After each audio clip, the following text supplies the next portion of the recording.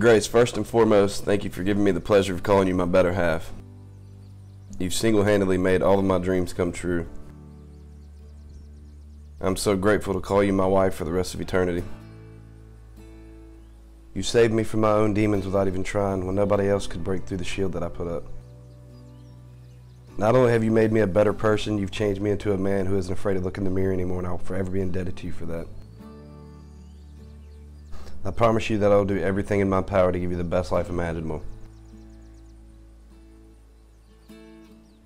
A princess deserves a comforting shoulder, prosperity, security, and much, much more. I intend to give my princess all of those things and much, much more. I love you more than anything in this entire universe. I know loving me is hard sometimes, yet you do it with a smile even when I'm at my worst. I want to thank you from the bottom of my heart for not giving up on me even when I've given up on myself. When I say I love you more, it's not a competition. It means I love you more than the fights, the stresses of life, or any other extrinsic factors that will tantalize us on our illustrious journey we're fixing to go on together.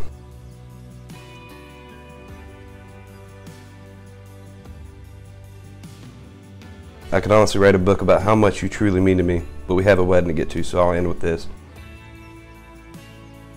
Thank you for being my light in the dark and loving me no matter what. Here's to find out just how long forever really is. Mrs. Grace Janae Naylor.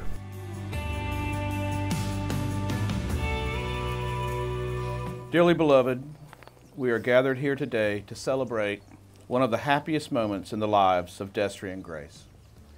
For on this day, Destry and Grace stand before you to affirm that they believe God has proposed that they should share life together in the holy bonds of marriage.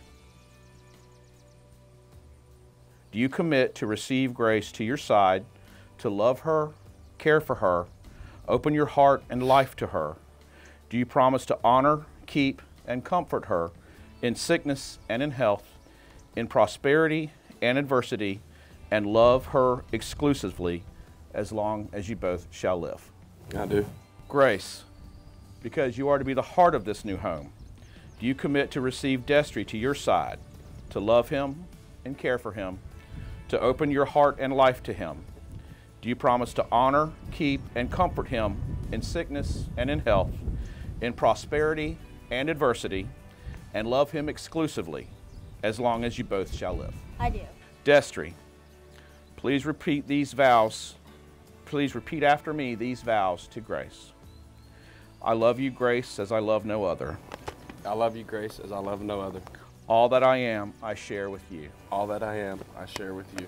I take you to be my wife, I take you to be my wife, to have and to hold from this day forward, to have and to hold from this day forward, for better or for worse, for better or for worse, for richer or for poor, for richer or for poor, in sickness and in health, in sickness and in health, to love and to cherish, to love and to cherish, as long as we both shall live. as long as we both shall live. This is my solemn vow. This is my solemn vow.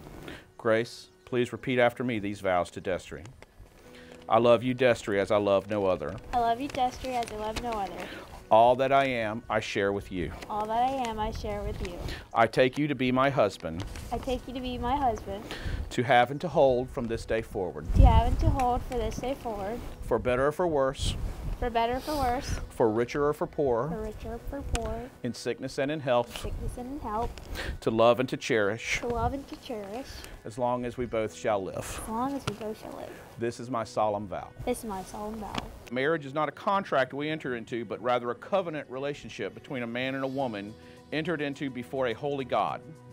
The Bible teaches in Ephesians 5 that marriage relationship between a husband and man is a picture of the relationship of Christ and his church. We believe the Bible clearly teaches that once you are saved, you are always saved. We believe in the eternal security of the believer.